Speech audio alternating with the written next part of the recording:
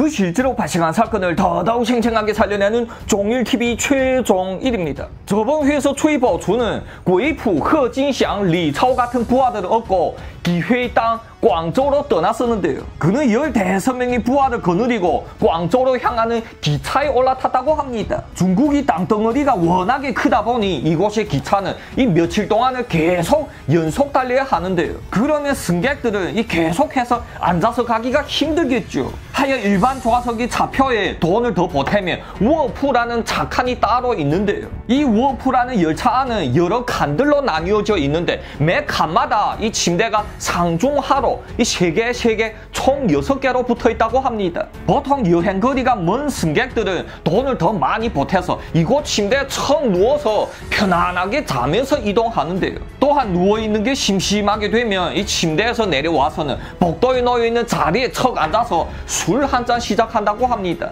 요 비좁은 통로 좌석에서 이 기차 밖의 풍경을 구경하면서 또 술 한 잔 빨게 되면은 그야말로 끝내준다고 합니다. 최보춘 또한 이곳에 앉아서 이 얘기나 하면서 술한 잔 하고 있는데 말입니다. 어라? 저쪽 착한 좌석에 앉아있는 여자가 한눈에 그냥 확 뜨이는데요. 이 여자는 검은 머리채가 이 허리까지 뒤덮었고 온몸에는 검은색 가죽 옷으로 쫙 빼입었다고 하는데요. 요 타이트하게 꽉 조여 입은 가죽 옷은 그녀의 그 굴곡진 몸매를 그냥 환히 보여줬다고 합니다. 꿀끄덕 최보수는 자기도 모르게 이 침을 꿀꺽 삼키고는 맥주 대여섯 병을 움켜쥐고는 그녀한테로 찾아가는데요. 이 얘기를 통해서 이 여자는 이름이 탄제라고 불렀었는데 중국이 동북 지역과 남쪽을 이 떠돌아다니면서 장사를 하는 사람이었다고 합니다. 최보수는 또요 제잘제잘 잘 돌아가는 주둥아리로 이 탄제를 재밌게 해주는데 드디어 밤이 깊어졌다고 하는데요. 에이, 그러자 최보수는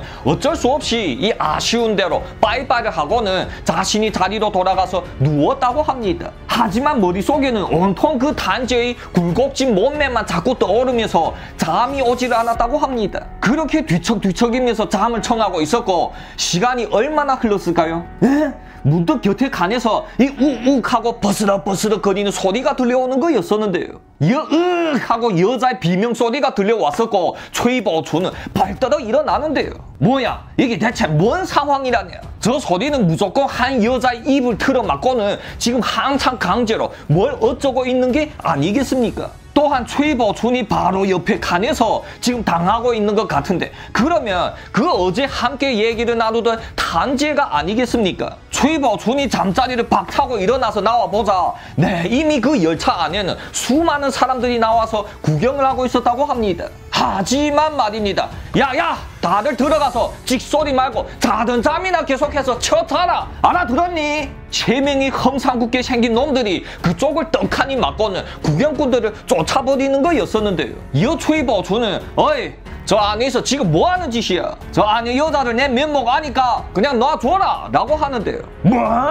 그러자 이 건달놈들은 눈가리를 희번떡 뜨면서 가까이 다가오는데요. 너 금방 뭐라고? 다시 한번 아가리질 해봐라 여기다. 그 중에 한 놈은 이 비수를 쫙 빼들고는 그 최보춘이 가슴 위로 이 쿡쿡 찍으면서 겁을 주는 거였었는데요. 우리는 광저우 기차역에 호랑이 파다. 어디 한 군데 병신되고 싶지 않으면 너희 침대로 돌아가는 게 어떠냐? 뭐? 하차. 그러자 최보춘이 뒤에도 이 웨이프와 허진샹 같은 부하들이 우르르 모여드는데요. 너네가 광저우의 호랑이 파야? 그럼 우리는 동북 호랑이 파다 이놈들아. 이는 최보춘이 직접 외친 소리였으며 이렇게 하여 동북 호랑이 파라는 이름이 탄생한 거라고 합니다. 이어 최보춘이 앞에 이 허진샹이 척 나섰는데 또 해벌레 하고 웃고 있는 거였었는데요. 허진샹 이놈은 항상 해벌레 하고 웃고 있어서 상대방으로 하여금 이놈이 대체 어떠한 놈인지 감을 못 잡게 하는데요. 이거 또 뭐야? 뭘 혼자서 해벌레 하고 있니? 어? 저리 꺼져라 이놈아. 요 키도 짜르다만하고 이 인상도 해벌레 하고 있는 허진샹을 얕잡아 보고는 이 대가리를 확 밀어서 보내려고 하는데요. 하지만 말입니다. 허진샹은 이 허리 뒤춤에서 비수를 빼들더니 다짜고짜 그 날아오는 그놈이 손바닥을 향해서 콱 하고 꿰뚫어 버리는 게 아니겠습니까? 너 금방 뭐라니? 어? 다시 한번 큰 소리 쳐봐라 이놈아. 허진샹은 계속하여 해벌레 웃고 있으면서도 그 건달놈을 향하여 칼질을 해대는데요. 뭐 뭐야 이것들이 이어 다른 두 건달놈이 허진샹한테 달려들려 하는데 네 그러한 허진샹의 뒤에 누가 있겠습니까? 꼬이프가 두 주먹을 부르지더니 확 달려와서 이 퉁퉁퉁 하고 먹여줬다고 하는데 꼬이프는 싸울 때 이 무기 같은 걸 안 썼는데 사실 그 이 두 주먹이 제일 무시무시한 무기였다는데 쿵쿵 하고 날아 들어오는 두 주먹을 맞자 이 두 놈은 당장에서 맥을 못 추고 뻗으러졌다고 합니다. 하지만 고이프는 그만두지 않았고 계속해서 놈들을 가로타고는 쿵쿵쿵 하고 먹여줬다고 합니다. 자 그러면 우리는 우리 진도를 계속해서 좀 나가볼까? 어? 좀 아플게다. 허진샹은 아까 손바닥에 칼을 맞은 놈을 가로타고는 이 싸하게 웃으면서 군도를 쓱쓱 닦아대는데요. 그리고는 그 건달놈이 발뒤꿈치 아킬레스 건을 향해 이 칼을 쿡 찔러놓고는 확 잘라내는 거였다고 합니다. 아이고 그러자 곁에서 구경을 하던 구경꾼들은 다들 인상을 찌푸리면서 고개를 획 돌렸었고 네, 이 최이보춘 역시도 더 이상 못 봐주는데 하참 허진샹 비록 내 부하이긴 하지만 너무나도 잔인하다야. 이제 밖에 놈들은 이만하면 다 제압이 됐고 이 최이보춘은 얼른 들어가서 인숑쭈매를 해야겠죠 그 뜻인지 영웅이 미인을 구한다라는 뜻인데 단지야 괜찮니? 이 오빠가 너 구해주러 왔네라 아주 기고만장하게 착한으로 달려 들어가던 최이버주는 그 눈앞이 펼쳐진 광경을 보고 기겁을 하였다고 합니다. 그 착한 아내는 세 명이 벌거벗은 남자들이 온몸에 피투성이가 되어서는 이 땅바닥에서 뱅뱅 도는 게 아니겠습니까? 근데 이세 놈은 다들 하나같이 그 수컷들이 소중이를 두 손으로 꼭 거머쥐고는 이 죽는 소리를 제치는 거였었는데요. 이는 같은 남자인 최보춘이 보고만 있어도 왠지 그 고통이 전해온 듯 한데요. 그리고 말입니다. 최보춘이 앞에 한 여자가 착 서서는 이 째려보고 있는데 올 검은색 가죽 옷에 긴 머리채 단지였었다고 합니다. 근데 단지의 두 손에는 자그마한 비수 두 자루가 꽉 쥐어져 있었는데 그 비수들에서는 이 핏방울이 뚝뚝 떨어지는 거였다고 합니다. 딱 봐도 이는 이 단지가 이세 놈을 그냥 마구마구 찔러 눕힌 거였겠는데 저 내는 어제 그 함께 술 한 잔 했었던 최보춘이요. 내 기억나지? 야? 자 이미 사고는 쳤고 우리 빨리 이곳을 떠야겠어. 웨이프야 가서 무슨 방법을 써서든지 기차를 멈춰 세워라. 우리 여기서 내려야겠다. 예! 그러자 고이프는 애들 몇 명을 데리고 부랴부랴 열차 제일 앞쪽에 그 대가리 쪽으로 달려가는데요. 근데 이, 이게 대체 어찌된 일이요? 초이보주는 너무나도 어리둥절해서 이 자초지종을 묻는데 말입니다. 네, 하지만 이 착한 밖에 또 세 명이 있는 걸 발견한 단지는 소나귀에 있던 비수를 휙휙휙 하고 날리는 거였다고 합니다. 그러자 말입니다. 그 비수들은 정확하게 놈들이 소중이에 꽂히게 되었으면 또 으악 하고 한바탕 난리가 났다고 하는데요. 네, 그러자 곁에 있던 허진샹도 이 깜짝 놀라면서 해벌레 하던 웃음기가 싹 사라지고 긴장하고 있는데요. 근데 잠깐만 단지 손의 비수는 두 개였었는데 어떻게 세 개가 날아간 거지? 이 단지를 다시 돌아보니 네 이 단지의 손에 또 다른 비수 두 자루가 쥐어 있는 게 아니겠습니까? 이는 대체 어떠한 인물인지 너무나도 궁금했었지만 이 최보주는 꾹 참는데요. 이 칼을 맞은 놈들이 죽을 수도 있겠는데 빨리 이곳을 먼저 뜨고 봐야겠죠. 이어 끼익 하는 소리와 함께 이 기차가 천천히 멈춰서는 거였었는데요. 음, 꼬이프가 성공했구나. 야들아, 우리 내려가자.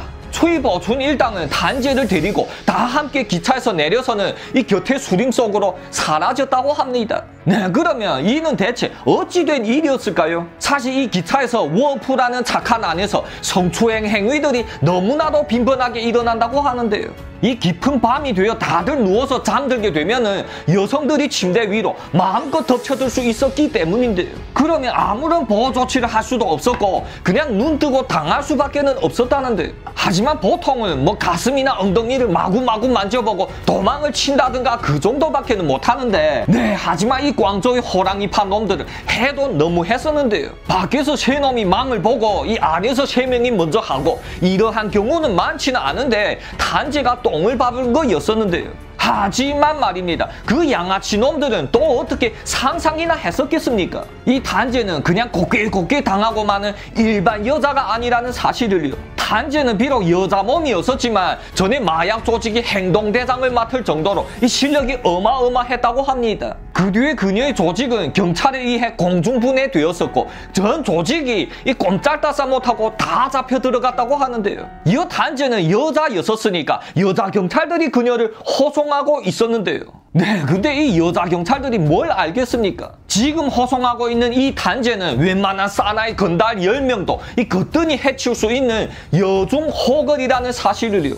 단지는 수갑을 잔채로 이 두 여자 경찰을 제압해버리고 도망을 치는 데까지 성공을 했었다고 하는데요. 그리고 딱히 할 일이 없이 이리저리 여행이나 하고 있던 도중에 최이버춘을 만난 거였었는데요. 이어 아까 최이버춘이 자신을 구해보겠다고 이 설쳐대던 모습이 생각나자 단지에는 피식 웃는데요. 최이버춘아, 너 생각보다 아주 귀엽더라. 그러자 뭐 귀, 귀여워? 이 쌍의 대장부를 보고 귀엽다고? 최이버주는 물론이고 이 고이프나 허진샹 같은 행동 대장도 욱할 것 같은데 어라? 이놈들은 대가리를 푹 수그리고 걷고 있는 게 아니겠습니까? 네, 아까 그 단지의 실력을 눈 뜨고 봤었는데 어떻게 감히 함부로 하겠습니까? 이 단지는 그 열대섯 명의 수컷들 앞에서 자신이 검은색 가죽 외투를 확 열어 제끼는데요. 그러자 그 외투 안에는 이 총 여섯 자루의 비수들이 나란히 꽂혀 있는 게 아니겠습니까? 바오초나 내 단지는 이 격투는 물론이고 이 비수들을 아주 기가 막히게 잘 다루는 칼잡이이다. 이어 단지는 갑자기 외투 안에서 비수를 확 뽑아 들더니 길 건너의 나무를 향해 휙 하고 뿌리는 거였다고 합니다. 뭐, 뭐 하는 거지? 이 휘둥그레 해난 부하놈들이 이 그쪽으로 찾아가서 비수를 뽑아오는데 네, 그 비수에는 사과 하나까지 꿰뚫려 있었다고 합니다. 이 단지의 비수를 날리는 솜씨는 웬만한 총잡이보다도 더 빨랐었고 정확했었다는데요. 이 단지는 너 아까 나를 구해주려던 마음씨가 기특하여서 내 너를 위해 일하고 싶은데 어떠야? 내를 받아주겠니? 그러자 초이버 주는 이 당연히 두 손 두 발 들어서 환영이겠는데요. 그리고 말입니다. 이렇게 어여쁜 미인이 항상 곁에 있는데 초이버춘 이놈이 어떻게 가만 놔두겠습니까? 대뜸 시간을 내서 술 한잔 얼큰하게 하고는 이 분위기를 잡고 단지한테 와락 덮쳐 들었다는데 이어 그 단지의 검은색 가죽 외투를 콱 벗겨대자 이 새하얀 속살이 드러나면서 침이 갤갤 나오는데요. 좋았어. 이어 최보춘이 볼일을 보려 하는데 보춘아, 내는 너희 부하로서 니를 그냥 도와줄 수 있어. 근데 만약 나랑 이런 관계를 가지면 그때 말이 달라지지. 너는 내 단지의 남자가 되는 거고 다시는 다른 여자를 건드려선 아이 된다 이 말이다. 만약 그거 어기게 된다면 저번에 그 기차 안에 건달 놈들이 기억나니? 그게 바로 너희 최후가 되는 거다. 어떻게 잘 생각해보고 이리 와라. 뭐? 그 단지의 얘기를 듣자 초이버추는 생각이 많아지는데요. 근데 만약에 요 몇십 초 전에 외투를 벗기기 전이었다면 조금 고려해 볼 수도 있겠는데 지금은 뭡니까? 그 새뽀얀 피부에 막 발정난 수컷인데 참을 수 있겠습니까? 이라야 모르겠다야 눈알이 돌아간 초이버추는 내딱 철썩철썩을 시작하는데요. 이 한참 동안 격렬한 운동이 끝나고 이 볼일이 다 끝나자 초이버추는 후회가 갑자기 막 밀려오는데요. 아휴야 내 이걸 참았더라면 아무 일도 없겠는데 이제 어떡하지? 최이버준은 너무나도 답답했다고 합니다. 이 단지에 대해서는 최이버준이 나중에 경찰에 잡히면서 한 기자와 한 얘기가 있는데요. 최이버준의 이야기가 이 정도로 생생하게 남을 수 있었던 것은 그가 경찰에 잡힌 뒤에 이 한 작가의 활약이 컸었는데요. 무려 일주일 동안이나 최이버준을 찾아가서 이 기가 막히는 날강도 왕의 일대기를 이 생생하게 받아 적은 거였다고 합니다. 이어 광저우시에 도착한 최이버춘 일당은 제일 먼저 해야 될 일이 하나 있었는데요. 그것은 바로 광저우 호랑이 팔을 이 뿌리까지 뽑아버리는 일이었다고 합니다. 한개 타지에서 활동하던 범죄 조직이 이 낯선 땅에서 자리를 잡자면 뭐니 뭐니 해도 화끈한 신고식이 필요하겠죠. 이 광저우 호랑이 팔을 꺾은 동북 호랑이 파라 이 그림이 되지 않겠습니까? 야들아 연장 챙겨라 전쟁이다 최보춘 일당 15명은 단지의 고이프 허진祥등 난다긴다는 행동 대장들을 앞세워서 이 광저우시 기차역을 들이치려고 준비하는데요. 하지만 말입니다. 이 광저우시 호랑이파 역시 웬만한 놈들이 아니었다고 합니다. 그 시절에 보통 한 개 기차역이 기차역을 이 차지하고 있는 조직들은 그 지역이 다섯 개 손가락에 들어가는 큰 조직인데요. 광저우의 호랑이파 역시 인원수가 100여 명이나 되는 큰 조직이었다고 합니다. 하지만 최보주는 고작 해야 15명인데 어떻게 치죠? 이는 앞만 봐도 이 계란으로 바위를 후려치기였겠는데요. 큰형님, 저한테 이 좋은 계략이 있습니다요. 에? 최보준이 그쪽으로 바라보자. 네, 그건 바로 대사기꾼이었었던 리차오였었는데요. 그래 그래 나의 군사 리차오구나. 너희 그 비상한 무리로 생각해낸 거라 이거지. 어디 한번 얘기해 봐라야. 그러면 이 리차오는 어떠한 기막힌 계략을 내놓을까요? 다음 회에 계속하겠습니다. 재밌게 시청하셨으면 구독과 좋아요 쾅쾅 박아주시고요. 다음 회에 또 짜지!